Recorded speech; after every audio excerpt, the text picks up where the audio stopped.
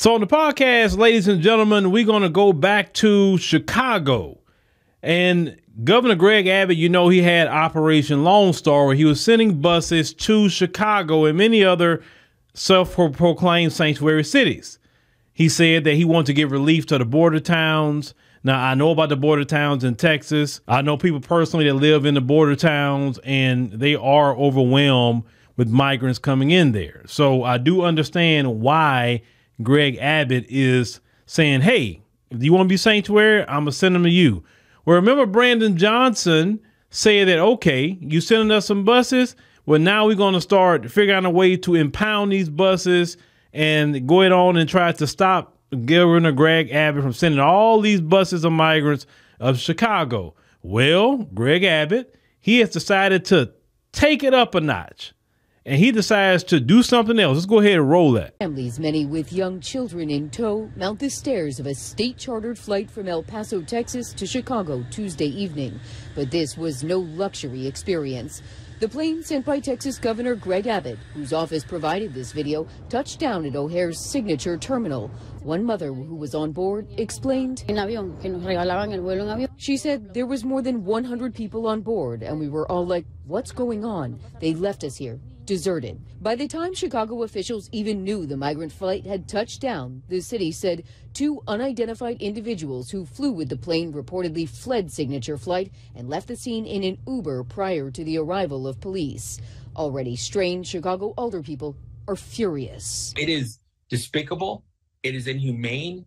Um, it's un-American to see that coming from another uh, state and I think the president needs to intervene. Governor Abbott claimed responsibility for the charter flight, saying Sanctuary City Chicago started obstructing and targeting our busing mission. Texas will now expand our operation to include flights to Chicago. Until Biden steps up to secure the border, we will continue to provide overwhelmed Texas border towns with much needed relief. As you clearly heard that Governor Greg Abbott took responsibility, said, okay, if you're going to stop me from sending buses to Chicago, I'm going to start sending airplanes uh, of migrants. And let's see how much you're going to stop that. Now, once again, if Biden really wanted to do something about it, he could. You know, when you fly, you have to get clearance from the FAA. And he got clearance to fly that plane from, he said, El Paso to Chicago. So it doesn't matter what any of them say, it don't matter how much they gripe, Biden is good on what he is doing. Unfortunately, because Biden is playing politics, and an agenda, the citizens are suffering um, no matter where they're at, whether in Texas having to deal with that crisis for the forever, um, people in Chicago, people in New York, etc. Well, recently on December the 14th, they had a city council meeting uh, with Mayor Brandon Johnson. And there are two people that actually got up to spoke that we want to highlight because these are black Americans who are in Chicago and has to live through this and really what's happening on the ground because you could talk about Greg Abbott sending them. That's one thing, and you definitely had that conversation. But Greg Abbott isn't in charge of you keeping Chicago a sanctuary city status. Greg Abbott isn't in charge of you blocking the citizens from having a vote if they want Chicago to stay a sanctuary city. He's not in control of that. He, all this complaining you're doing but yet you won't in sanctuary city status. That's what I want people in Chicago to listen to. Brandon Johnson and those aldermen complaining all day. All they have to do is in sanctuary city status, and Greg Abbott will not be sending them no more. But their so-called values um, says that they're going to take in a million to two million. Don't it don't matter. They'll complain about it, but they'll take them in anyway because they're supposed to be a sanctuary city. Now we know sanctuary cities came in, definitely Chicago in the 1980s, but you have to understand, America just in general has a lot of outdated things, very outdated. A lot of laws are outdated. Even the Constitution, in a lot of ways, are outdated because you have to understand when they signed that Constitution, we were on a plantation, right? So we know today slavery is wrong, right? So even the 13th Amendment that says we shouldn't, you know, nobody sh- should be a slave, yet they backdoor and says if you are a prisoner, you can be a slave to the state. Now we all know slavery, no matter in what form, is wrong, right? So there's a lot of things that need to be updated in this country, but unfortunately, we have people in this country who are literally relics and they don't want to update anything. So this is why you have a 21st century problem because even if you have a even a corporations got to update their policies, update their rules, etc. because of the changing times. You understand? So Sanctuary City sounded great in the 1980s, but in 2023, going into 2024, that's not really viable now. You understand? So I want you to hear this brother here. Think, uh, and I want you to hear exactly what he has to say. He's a, he's an elder in the community now. If all our elders spoke like this brother right here, we wouldn't be in the position that we in. Let's go roll roll that. Illegal. Call ICE. Send them all back waiting across the Rio Grande for, and, and don't uh, obey our immigration and naturalization laws. And watch my minutes because you should have it up here and over here because they steal my minutes. We are the only people in America that was enslaved in America. We're not immigrants. We're not migrants. We belong. Listen! Listen! We are the only people enslaved in America. We didn't come over waiting and looking for something. And when we came over, we did work. But it was free labor that built this country. Black labor that built this country. White power. And to see another group come over here is disgraceful. It is un-American. And these rules that you have, the rule, who made these rules? When did the aldermen vote for these rules? When did the people have time to, to participate in making these rules? And one of you all came over to me, Mr. Blakemore, we got little children. What about the black children in the ghetto? We got to make a future for them. These others will move them out. Move us out, and they come in to compete with jobs, goods, and contracts and services. A historian Claud Anderson say that they have a negative effect on the black community. Read. Reading is fundamental. I don't have to love nobody but me. Self-preservation is the first law of nature. And these black aldermen, I urge you to vote no. Uh, because aren't you black? Aren't you black? Don't you live black? Have you experienced the, the suffering that our people have gone through and still going through it, having another group to come up in line and get in front of us. You, you got the right one on this mic. You got the right one, Mr. Blakemore. We got children here. Now you be respectful. I am respectful, and I'm advocating for the black children because you all trying to gentrify us out and you in for jobs, goods, contracts, and service. Who do you think I am, or who are you? Who, if they clap, I can say boo. Uh, if they clap again, I can say boo. I'm strictly advocating for black people and call ICE on them. Trump, come in here, clean this mess up. Uh, the most corrupt city in the United States is the city of Chicago. And that's not my. Thank you, Mr. Blakemore, for your comments. Well, Mr. Blakemore, he was he was definitely fired up. Now, look, now let me tell you something. You know the message is getting out there, ladies and gentlemen. Every talking point Mr. Blakemore was saying that is don't come from the boule. It don't come from Joy Reid. It don't come from any of those types. That conversation he had verbatim come from the grassroots, the black media on this side. You understand? He hit every talking point that we are not immigrants because we're not. When they try to say, oh, black Americans left the South and came to the North, some, not all. Trust me, it's some. The majority of black America is proven. The majority of black people still live in our ancestral homeland, the South. It's only a small number that was scattered and went in a great migration. And how do you immigrate from the South to the North? There's no immigration. You're not going to a different country, a different government, a different system. It's the same country, same government, same system. That's like someone living in South Africa and they move from Cape Town and then they move. Let's say they move, go up there to Johannesburg or something. Did they immigrate from uh, uh the the southern part in, in South, uh, Cape Town? It's the same freaking country, right? They're trying to do everything they can. These Democrat shields to try to put us in the same line with people that have nation states, that have embassies in the United States of America, right? They have their own passports to these nations. We that's why we never can be equal to an immigrant because we don't have a nation state outside of America. We don't have a, black folks don't have an embassy. What where do we come from? Now they say, oh well, you guys came from the continent of Africa. Okay, where at then?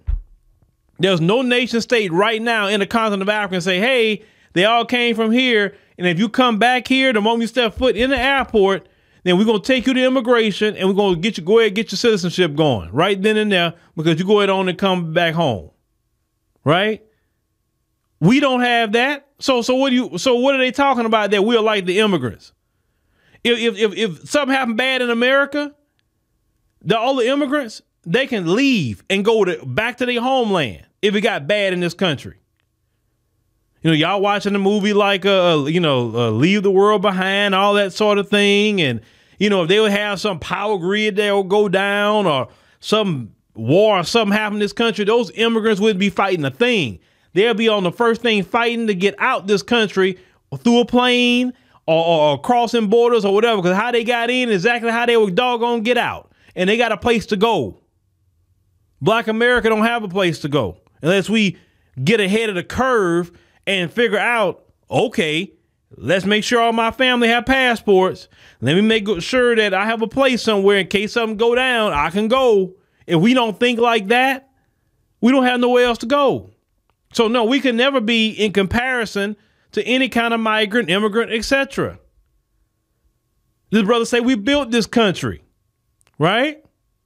Which is the truth. Immigrants can't say they built this country from scratch. They can't say they are the foundation of this country. They can't say they innovated this country. They can't say that. I'm not saying the immigrants didn't work in it. I'm not saying they didn't do a couple of things here and there, but I'm talking about what we have done. No, they Johnny come latelys. Period. Now I know because well, the clip that they kept showing, because you know over here we're gonna look into things a little more, was the part about when he said we need to bring Trump in here clean this up. That's the only part they kept clipping. But they didn't they didn't play the whole clip that I, I played for y'all about this brother. They don't want to play that because they don't want that message out there where black folks are saying this. Chicago is corrupt. Brandon Johnson and the Democrats are corrupt because they don't want the sanctuary city status put on the ballot like it should be put on the ballot so the people can decide if they want to be a sanctuary city or not. I don't want to hear talk from Brandon Johnson complaining about migrants and you won't get rid of Sanctuary City. You playing games with the citizens. Now, let's get to our sister here. You got another sister that's going to come up and she's going to follow behind our brother here. Let's go ahead and roll that. Good morning. My name is Loran Lawrence, so that all of you all know that I am representing multiple communities. Let's start with Brighton Park. Let's start with Austin. And let's also go with East Morgan Park. All of these communities that I have been out there with them protesting for these unsanctioned rights that has been going on here is just crazy. I'm going to get started with a few things since I got three minutes. Number one, I'm a native to Chicago. I was born and raised here. I've seen the changes. Don't let the age fool you for how I look because I've been here a long time. I have seen things just transition as if a lot of people are not important here. I'm not for the sanctuary city. And the reason why I'm not for the sanctuary city is because people have waited years to come in here legally, not just transported on these buses, dropped off in our neighborhoods. Raise of crime almost got hit several times just making it down here today. And this is ludicrous. There should not be two sets of laws. Also, the West Side and the South Side black communities have been earmarked for having funds. Never seen it. We're still waiting on those funds to come into those communities. Brandon Johnson, many people stood behind you. They feel let down because the day you came into office, which I believe was May 15th, you already had signed an uh, executive order. Now, whether it came from Governor Pritzker or whomever that directed you on this, is it fair to these communities that have been waiting for years? You said you're on the west side, but you should know what's going on over there as well. Let's also talk about the things that I witnessed about crimes that are going on. Also, just watching my neighbor hook up electric, okay? Why reroute the gas? Burning grass on the lawn. When are you going to have our neighborhoods cleaned up? And when are we going to get the rights that we deserve? I'm not against anyone coming in here legally. I want to say that clearly. But for those who have not, they don't top us. They don't go before us. We're not last in line. $9,000 going to illegals, but those who live here have not gotten funding yet. Many people homeless. My husband is a veteran. Now, you know I got a heart for that. But let, we got a lot of these on the street. And I also have been one that worked in food pantries, also helping people who are on the streets. They need to be taken care of. They need to stop being neglected because if we don't have a voice here, we will have a voice out there. And those aldermen who are not caring, okay. You know, that sister brought a, a good point. It isn't fair to the people who have went through the process legally to become a citizen of this country or get a residency. It isn't fair that these people get to jump the line. It isn't fair that they don't have to pay anything. It isn't fair they don't have to pay no taxes, but yet they get to pull resources from, you know, America. Then you dropping people off in black people's neighborhoods, which black folks don't have resources as it is. You know, they they trying to to squeeze juice out of a turnip you know, with, with, in our neighborhood. But as the sister said, you giving them nine thousand dollars. I say that every citizen in Chicago should be at City Hall talking about, hey, Brandon Johnson, um, I need my nine thousand dollar check, brother. I need that because if you can give it to them and they don't have to pay no taxes, then surely I need it because I've been paying taxes in this city for a very long time and I got rent to pay just like everybody else. Now, this situation, because you got to think about it, this situation is where it is because the Democrats and Brandon Johnson refuse, refuse, refuse. They don't care, even if it hurts the migrants themselves. They say they don't have the facilities to house the people. All you have to do is in sanctuary cities at status, and this stuff can stop. But the Democrats have an agenda and it's not an agenda of the people. You have to take care of your people first. In other countries, when I travel to them, you know who's more important? The citizens of their country, not foreigners. But in America, they prioritize everybody else except the American citizen. There are so many American citizens that are getting so upset in how this government is moving with the Democrats and in Republicans too, that many American citizens are saying, you know what, man, I'm done with this place. And they're leaving. And I'm saying, and I say American people. I didn't say black people. I say American people. A lot of white people are leaving. I meet black folks all the time when I travel, and a lot of them are either moved or they at the door of moving. And they got about two to three years left in America to clean up their affairs, and they out.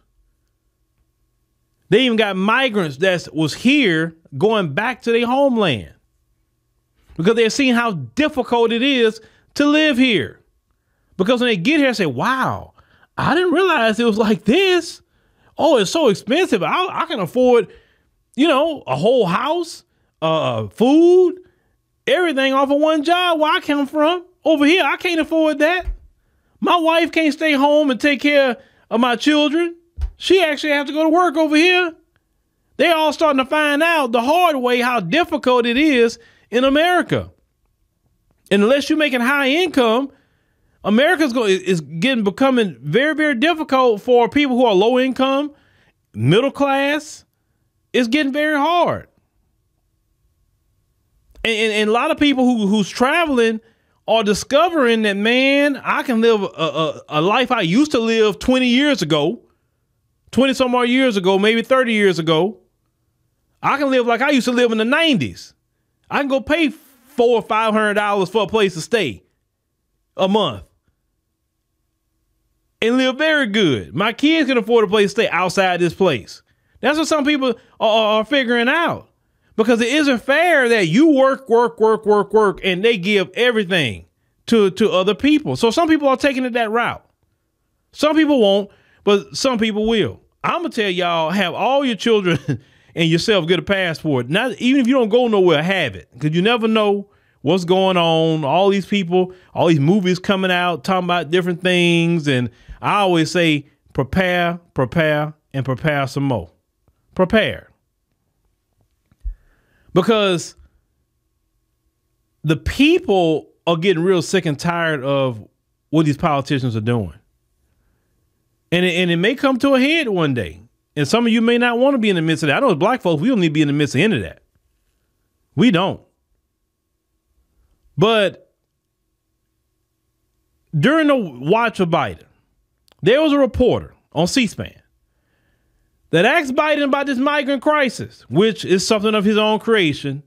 Now, I want you to hear how Biden responds to this reporter about what's happening with the migrants. Let's go ahead and roll that. President, why is the border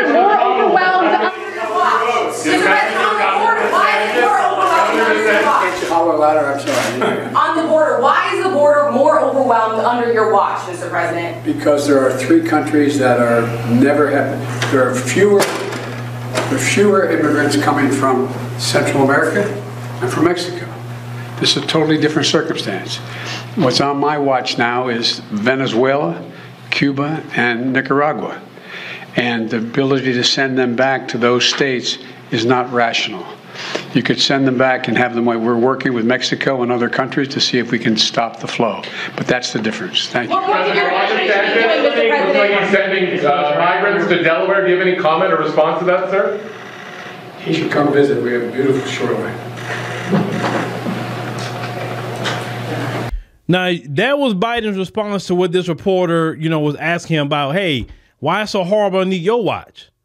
Well, it's so horrible because he rescinded the remain in Mexico policy. That's what got it started.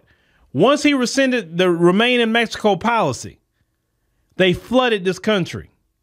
That's what it was. And he's not doing nothing about it. The border patrol is overwhelmed. In the state of Texas, they trying to do their best to stop him, right? But this man has an, literally an open border. And these people have been saying, the migrants, that they've been told to come. They've been told to come. Notice the reporters never get deep dive and say, okay, who told you? Who? What organization keep telling you to come? Who? They never say who. The mainstream media is only going to do so much because they are in on everything too. This is why we are focusing on building our app because we have our app on the Google Play and Apple App Store, and we're trying to get to our 10,000 members because by the time we get to 10,000 members, at least it can free us up to do a little bit more investigative journalism that we really want to get into that the mainstream media got funds for, right? Because that kind of stuff costs money, you know, flights, hotels, you know, staff, all that costs money. None, none of that's free, right? But we want to do more investigative journalism and building up our app and having members there that, you know, join a membership, have a paying membership. It helps make sure we have the funds coming in to do that. Because I'm the type of person that I want to know. I want to hear from the horse's mouth, like from migrants myself. Hey, who told you? What what what message on WhatsApp did you get? Who it came from? I, we want to know this. Just like how Fox go down there and everybody else, we need to do the same thing as a community because they're not going to tell the full story. They know who's telling them. They know we're organizationized rumors that the Catholic Church is behind a lot of it. We hear that too. We hear rumors that the Catholic Church is paying a lot of the migrants because you know good and well to pay the cartels, the migrant people don't have money like that. So so the money is definitely coming through people that got deep pockets. This is an agenda they're doing. This is a complete agenda. And this agenda is being used to circumvent Americans. When you can see a lot of Americans right now are having this awakening about pay. They're having this awakening about school and all this this stuff and say, wait a minute, we getting the bad end of the stick.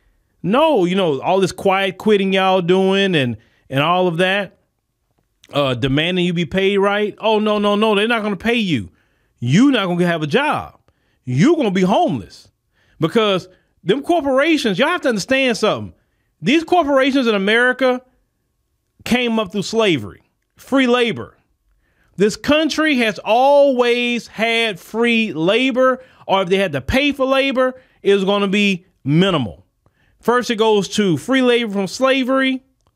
Then they, you know, out of slavery, they still try to keep free labor with convict leasing. They still try to keep free labor with uh, uh, uh, uh, sharecropping. When white folks wanted jobs and they wanted to get paid right, they said, nope, let's bring all the black folks in because we ain't got to pay them much. And the white folks was mad about that at black folks. Some of they blacks are taking our jobs and all of that because they were paying them less. Now black folks saying you got to pay us right, and they say no, we not. We gonna go bring people from Latin America, and we're gonna pay them them low wages, and they're gonna be happy with it, and you not gonna have a job. That's that's really the plan right there. They're not gonna let these people rise up into no high ranks. They're not gonna let them be in any kind of power. They're gonna keep them in low uh, uh, uh, uh skill labor. That's what they want them at. Ho- cleaning your hotels, being your garbage truck uh, uh, people, working fast food, your Walmart, all the major corporations, the jobs that a lot of you don't want, those people are being bussed in in the millions to take those jobs. And the jobs they do take, the other part AI is going to take. And it's going to be more American citizens that don't have a job and you're going to end up homeless. This is the plan from these corporations. This is the plan for those migrants. They want them to work those jobs because you didn't got way too uppity. That's the word I'm gonna use. You American citizens. You got way too uppity. And these corporations do not want to pay what they should be paying. And this is why all those billionaires are even leaving the country or got bunkers now. Because it may be a time y'all get pissed off and want to get at them. Well, you're not gonna be able to find them. Because either they're gonna be in a bunker or they're gonna be out this country somewhere. All these major people who are billionaires and, and all of that, all of them are, are, are building bunkers or all of them are uh, got other property. When I was in South Africa, they showed me Oprah's property. They say, "Hey, that's Oprah's house right there." I said, "Oh, Oprah got a big, that's a huge house. That's Oprah's house." He said, "Yeah, that's Oprah Winfrey's house right there." There's a rumor also going around that she may be leaving the country, going to Switzerland too, with some money. Yeah, they all they all move around. These people with money, black, white, it don't matter. The billionaire class in in the the rich and elite. That's they move like that. They're not going to be in a position where y'all could touch them. No. But you better believe all those migrants coming in is going to do the McDonald's jobs, the Burger King jobs. The migrants going to be working at Starbucks, in the airports and everywhere. Trust me, you be like, wow, what? You gonna look up and say, where's all the black and white people? Like they don't work no more? I'm telling you, that's what you're about to see all over this country. You will be wondering where all the black and white people at. You're not gonna see them. You're not. Not in these jobs like we see them today. I'm telling you, you vote Biden in for another four years, his job will be complete and none of you would have a job no more. And now them kind of jobs. Now the migrants can't take a job like you know if you build a business and, and certain things like that. It takes you know certain skills you may have. A migrant can't do you know can't take that from you. You built that. That's yours, right? But if you're dependent on the folks, that's why I tell my people to focus on entrepreneurship like our ancestors did. They built their own. So you don't have to worry about no migrants. You like that, that's that's on them. I'm doing this. Right? No one can take your job from you. If you built it, nobody can take it. Only you could ruin your own job.